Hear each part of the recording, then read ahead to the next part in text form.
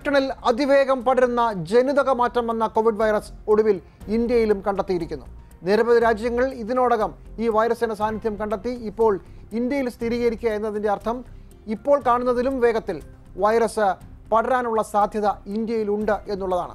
ദില്ലിയിൽ നിന്ന് പ്രശാന്ത് രൂപംശം ചേരുന്നു. പ്രശാന്ത് നമ്മുടെ പ്രതീക്ഷ മുഴുവൻ ഇനി ബാക്കിയുള്ളത് ഈ വൈറസ് ബാധിച്ച് സംശയിക്കുന്ന ആളുകളിൽ നിന്ന് എത്ര പേർക്ക് ഇത് പടർന്നിട്ടുണ്ട് അതിനു മുമ്പേ അവരെ നമുക്ക് പൂർണമായും ക്വാറന്റൈനിലാക്കാൻ കഴിഞ്ഞു എന്നുള്ളതാണ്. you are there which is Amshakal.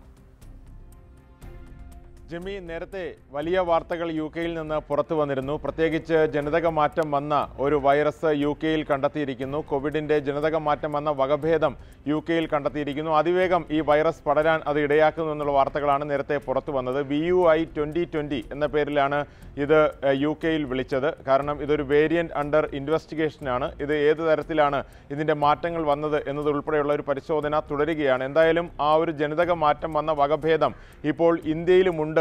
എന്നുള്ള ഒരു പുതിയ വാർത്തയാണ് ആരോഗ്യ മന്ത്രാലയം പുറത്തുവിട്ടിരിക്കുന്നത്. നേരത്തെ തന്നെ ശക്തമായ നിർദ്ദേശങ്ങൾ കേന്ദ്ര സർക്കാർ നൽകിയിരുന്നു. കാരണം യു കെയിൽ ഈ ഒരു പുതിയ വകഭേദം വന്ന വൈറസ് കണ്ടെത്തിയതിന് ശേഷം അതിവേഗം രോഗം പടരുന്നു എന്നുള്ള കാര്യം യു കെ തന്നെ വെളിപ്പെടുത്തിയിരുന്നു. ഇപ്പോൾ നാൽപ്പത്തി ഒന്നായിരമായി യു കെയിലെ പ്രതിദിന രോഗികളുടെ എണ്ണം ഉയർന്നു എന്നുള്ള റിപ്പോർട്ട് കഴിഞ്ഞ ദിവസം പുറത്തു വന്നിരുന്നു.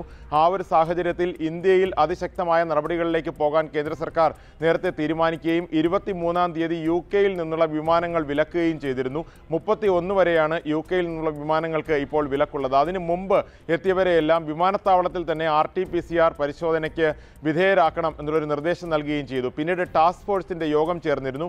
ടാസ്ക് ഫോഴ്സ് യോഗം എടുത്ത തീരുമാനം ഇപ്പോൾ എങ്ങനെയാണോ ഇന്ത്യയിൽ കോവിഡ് സംബന്ധിച്ചുള്ള മാർഗനിർദ്ദേശങ്ങൾ നിലവിലുള്ളത്. അതിൽ വലിയ മാറ്റങ്ങളൊന്നും വരുത്തേണ്ടതില്ല. പക്ഷേ ഈ പുതിയ വകഭേദം കണ്ടെത്താനുള്ള നടപടികൾ വേഗത്തിലാക്കണം. അതിന്റെ ജിനോം സീക്വൻസിങ്ങിനായി എന്തെല്ലാം ചെയ്യാൻ കഴിയും അതെല്ലാം ചെയ്യണം എന്ന നിർദ്ദേശമാണ് നൽകിയത്.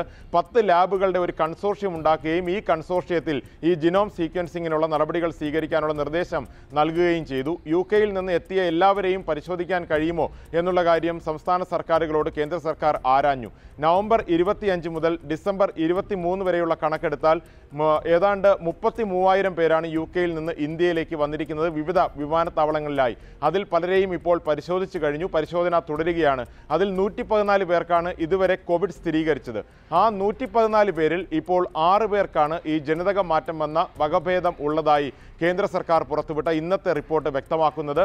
നിംഹാൻസ് ബംഗളൂരുവിൽ മൂന്ന് കേസുകൾ സ്ഥിരീകരിച്ചു.